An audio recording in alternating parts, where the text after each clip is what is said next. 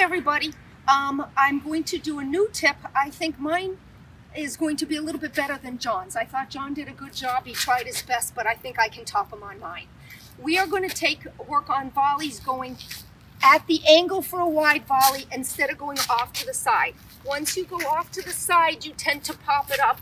If you cut the angle off, it's a shorter distance and it's going to be a little bit better volley and you're in position for your next shot.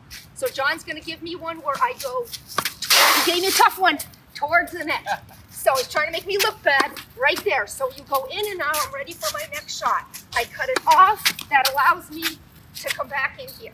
One more. Okay guys, thanks a lot and I'll see you next time.